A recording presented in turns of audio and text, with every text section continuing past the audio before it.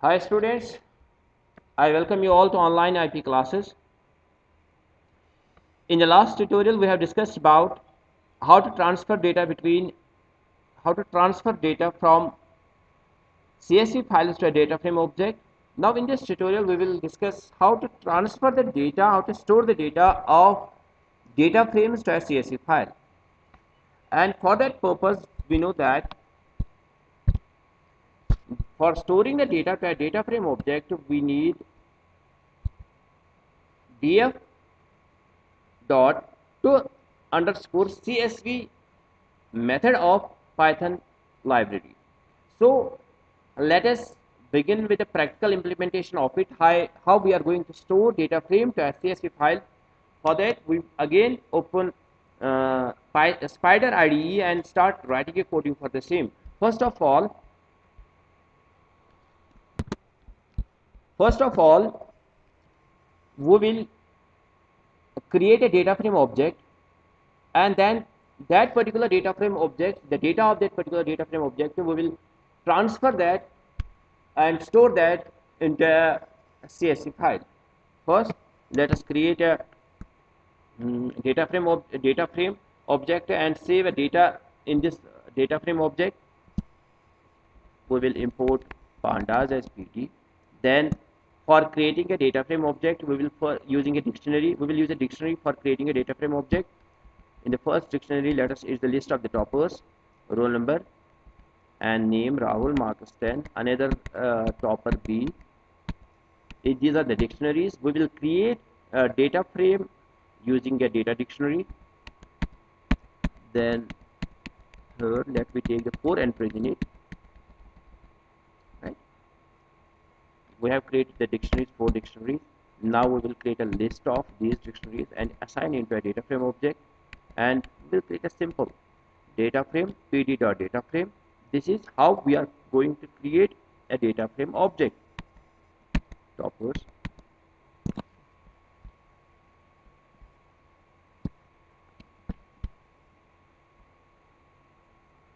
Toppers. And let me print it first this is the data frame object that we we have created. Let us see what we have created. We will run it. This is this is a data frame pure data frame. Having marks na name roll number as column headings and these marks name roll number and the entries like this.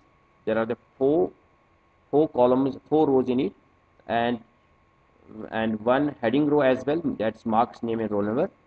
Now we will um, with the help of two underscore csv file we are going to store this data frame object to a csv file.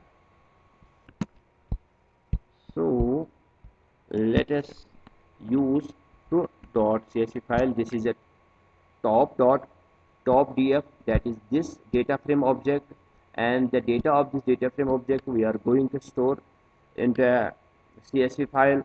And for storing the data to a CSV file we use to dot to underscore CSV and now we will specify the path of the file and we will create a new file here only. For example I want in the uh, drive F in the subfolder python underscore spider. And uh, the name of the newly created file should be toppers underscore csv if there is already if there will be already a toppers.csv file in the python underscore spider library in the uh, folder sorry then this that particular uh, toppers.csv file will get overwritten. So the newly created file should be there toppers.csv so we will save it. Just a simple line the uh, this object name data frame object name in which there's the data and where we want to store it we want to store it uh, in a toppers.csv file. This is a newly created file. A, a, new file will get created there. And this is to underscore csv with the method for uh, storing the data. When we will save it we will run it. This is the data. Now let us open f drive and the F drive will open spider folder. There should be toppers. Yes. Here the toppers dot csv file. It gets automatically created. This is the data in this toppers.csv file. Right? There are the various arguments of to underscore csv method as well for example one argument is uh, the separator the separator between the different data elements of the csv file. The separator i want to use instead of comma i want to use um, the separator as this symbol right? i want to use the separator as this symbol. When we save it we'll run it. Let us see the output file the first file. The different data elements are now separated by this symbol right? Similarly there is another argument of this method that of this method that is to underscore csv if there are null values if there are any n values if there are any n values in our data frame file right now there is no uh, any n value in our csv file uh, in our data frame object. If there will be any csv uh, if there in data frame if there will be any any n value missing value for that purpose write na underscore rep in csv file the nan values there will be an empty space empty string nothing will be there. But i have in a, uh, instead of empty string i want to uh, show some text over there. For example i want to show the text as null null then uh, if there will be uh, nan value in a D, uh, data frame object and when this data frame object gets converted stored in uh, into a csv file